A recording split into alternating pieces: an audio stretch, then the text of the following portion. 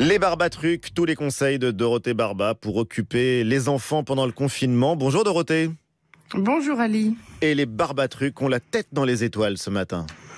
Oui, avec une pensée pour deux Russes et un Américain qui, eux, au moins, ont eu le droit de dire salut, je m'en vais. On en rêve tous, à nos autres confinés. Ce sont des astronautes qui ont rejoint hier l'ISS, la Station spatiale internationale, après une période de quarantaine.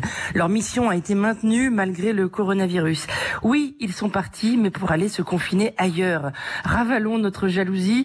Les astronautes sont des experts du confinement. Voilà pourquoi je vous suggère une virée spatiale à domicile. D'abord en faisant un tour sur le site de la Cité de l'Espace de Toulouse. Vous y trouverez plein de missions pour jouer les astronautes à la maison. On peut apprendre par exemple à se laver comme dans l'espace. À ceux nombreux qui ont un problème capillaire en ce moment, il est rappelé que de se couper les cheveux dans la station spatiale, c'est pas la même limonade. Hein.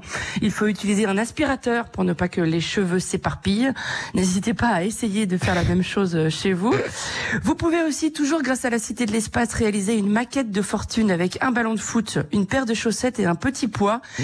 histoire de visualiser à quelle distance sont nos trois astronautes. Le ballon, c'est la Terre, les chaussettes, la Lune, et le petit poids, l'ISS. Et tout le défi consiste bien sûr à respecter les échelles. Hein. La station spatiale est mille fois plus proche de nous que la Lune. Et on peut aussi s'amuser à fabriquer une fusée, Dorothée? Mais oui, Ali, n'hésitez pas. Pour ça, je vous recommande le site du CNES, le Centre d'études spatiales. Vous trouverez par exemple une jolie maquette de fusée Ariane 5 à imprimer chez vous puis à construire.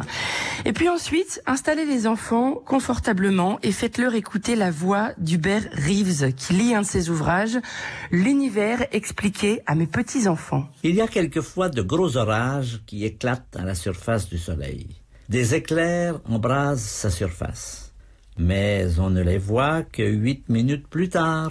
Quand nous les observons sur la Terre, nous savons qu'ils ont eu lieu huit minutes plus tôt. Pourquoi? Parce que la lumière de ces éclairs a dû parcourir la distance entre le Soleil et nous. Vous trouverez cette voix inimitable gratuitement sur le site de Radio-Canada. L'astrophysicien québécois lit intégralement son livre. Alors c'est un peu long, hein, presque trois heures, mais on l'écoute en plusieurs fois, bien sûr, quelques minutes par jour. C'est recommandé à partir de 13 ans et c'est la meilleure des solutions pour prendre de la hauteur malgré l'enfermement. Et puis trois heures quand on est confiné, ça passe vite. Merci Dorothée. Et on retrouve évidemment tous les liens sur la page des Barbatrucs et sur le site de franceinter.fr.